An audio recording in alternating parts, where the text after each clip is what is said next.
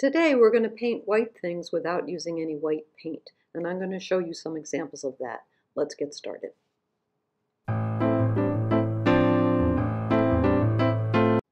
Today we're going to talk about how to paint white. And so let's start with this. This is a painting that I did of two peaches. And what I did was I took a picture of it and you can see it in black, white, and gray. So what you want to be able to do is translate color using color in, order to create form. In order to create form, you have to have darks, mediums, and lights. And that's what's happening in this picture. And in a second, I'm going to show you what we're going to do is we're going to look at the original painting.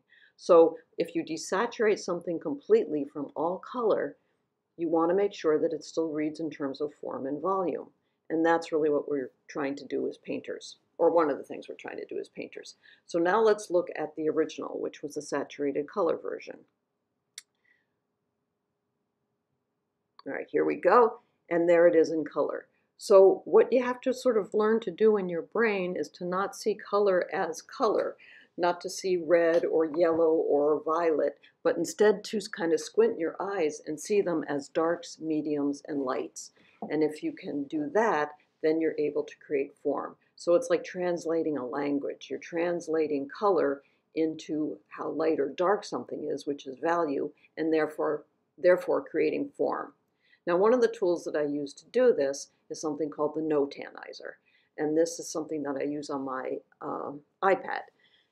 This is a tool that I can put my photographs into, and then I can use a dial that's on the uh, app, and I can dial in how much white I want to preserve, how much dark I want to preserve, and how much of the midtones I want to uh, consider. So it's a way that I can evaluate a photograph carefully and also a way if I get stuck and I'm not sure of the value of something in relation to something else, I can use this tool. It's very cheap.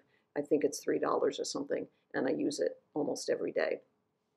Now let's take a look at a white form. This would have been a peony, and as you can see, what I've done here is I've used violet for my darks, and I've used sort of a neutral, a warm neutral, which is uh, that sort of a brownish color and, um, and preserve the whites of the paper for the whitest whites. That's sort of oversimplifying what's happening here, but what I wanted to show you is that right now it really doesn't read very much as a form mm, because mm, the peony doesn't have a lot of form. But what I want you to look at is just the translation of instead of using black, white, and gray, in order to create darks, mediums, and lights. What I did was I mixed colors. I used violet and I used quite a bit of a warm gray, which is that what I'm talking about being brown or sandy color, because that's warm. As long as something is tilting toward the um, sunlit side of the um, color wheel, then it's going to be warm and if you go toward the darker side of the color wheel, which is your violets, your blues, and your dark greens, then it's going to read as cooler. So it makes a nice balance of dark, medium, and light, but I'm also considering temperature, how light or uh, how warm or cold something is, warm or cool, I should say, because that contrast is helpful. Now this is the same painting, but with the background put in. And I think you can see that the background actually created the form. Mm, that's not exactly true. I had to have painted those shapes correctly in terms of their value, but having the dark background does make it pop and does allow your brain to see some of those forms as individual petals or or at least read as something that is not just flat on a piece of paper. Now, if you don't call your values correctly, and I don't always call my values correctly by far. Here's a good example of a white peony that I painted and it's the values are all wrong. Uh, the darks are too dark, the lights are too light, and see how it, and then the background didn't save it at all. It's just completely flat form, not even a form, just flat shapes. This is a fail. And I wanted to show you a fail and then show you when this happened. It was like I overpainted in a way. I was too aggressive. And here's the same painting or same attempt at a painting, but I preserved the whites by being much less heavy-handed. I still followed the roadmap of making sure that my violets were my darks and that my leaning toward yellow grays were um, warm, but you can see that there's actually form there. And if you go back, you'll see how, how flattened out the form was. Um, sometimes you can just feel a little overconfident or maybe not not see shapes uh, correctly. And I took some time off, and, and I definitely suffered from that. When I came back, I, I wasn't hitting my values correctly. I was I was definitely off. And, and if it's off, and that whole last painting that I showed you was completely off, it's just, there's, there's no way to save it. You know, you have to, for me, I have to rip it up and just call it a day. And then usually after that, the next painting is done with a much more sensitive and careful eye. So I, I, I'm happy with this one and but look closely you'll see a lot of color there's no gray there's no black or gray being used here. If there's some, if they're grays then they're grays that I have mixed from color. I try to put as much color in my grays as I possibly can and consider whether they're warm grays or cool grays. Now let's look at another photograph. This is maybe one of the most challenging subjects for me which is that. It is a transparent object with on a white white piece of paper. Um, so the challenge with this, of course, is well, how how am I going to make how am I going to do this, uh, and how am I going to do it without a tube of gray or black? Uh, the way to do it is just the same way that I showed you so far with a sensitive eye, and to mix up grays that are both warm and cool, but that also give me that dark, medium, and light value range, and that does it. Um, you, there's a lot of violet in those darks. There's also some green in those darks. There's, and when you look at the warmer tones, which are mid-toned, if you squint your eye, you'd see some mid-tones. You'll see that they have quite a bit of orange in them, or possibly red. I leave the whites of the paper as white as I can. That, that's usually my whitest white, and there isn't much of it there. But there's enough. There's enough to create form, and that was the goal. Now, this is not necessarily, you know, the most interesting painting in the world. One thing you can do if you're doing something that is a really desaturated painting or subject like this is put a really colorful object in your composition if you can. Because what I did with the next one was I put an orange in the composition, and that's going to cause some ref reflected light to happen. It also makes the desaturated object appear more crisp. I don't, I don't know if that's the right language or not, but just consider that if you have a, a subject that you're going to do and it has an awful lot of white in it or clear or desaturated color, if you put a very saturated moment in that composition, your whole painting will uh, just sort of be enhanced by that. And, and that's what's happening in this particular subject. And you can see some of the what happens if you put a translucent object near a really saturated object. Light starts to bounce around. And not only light bounces around, but the color gets reflected.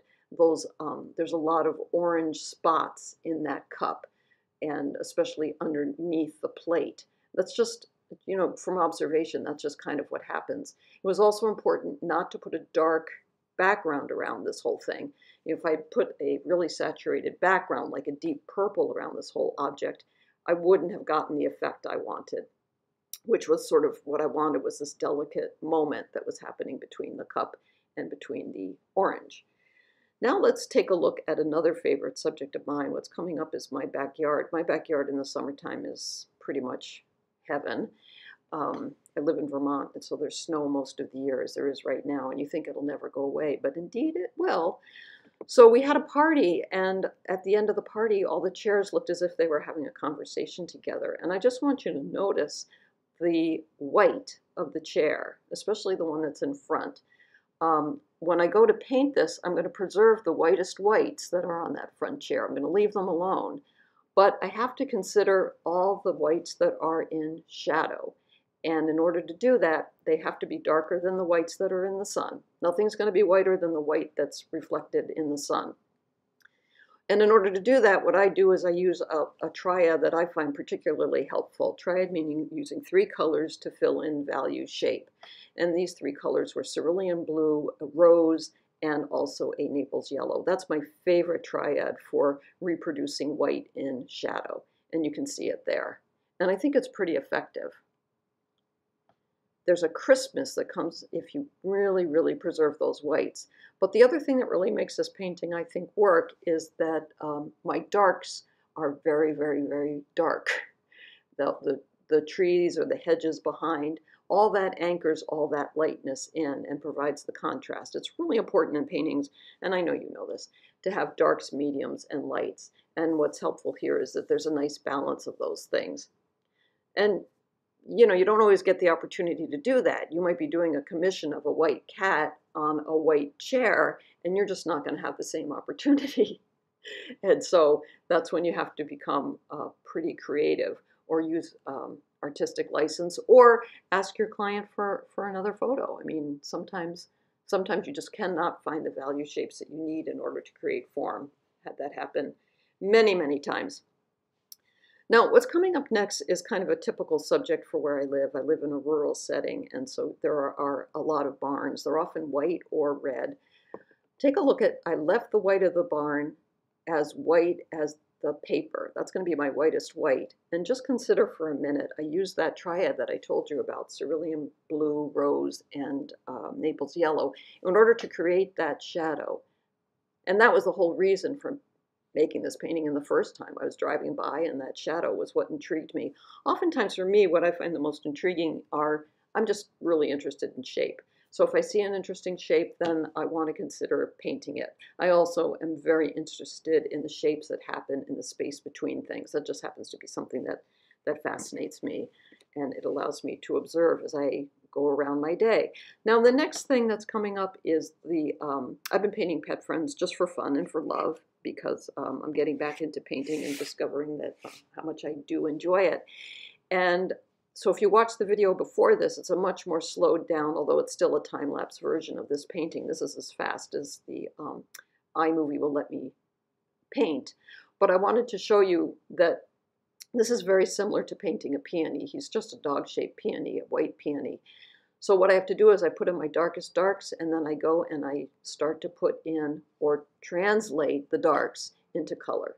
So that the darks become a violet and a blue and uh, some neutrals. And the lights, again, lean toward something warm. So I hope that's helpful. Remember to keep the whites of your paper white, your paints wet, mask for value, mix for color. Remember, there's a lot of color in white, and you can find it if you look for it. Please join my YouTube channel. See you next time. Bye-bye.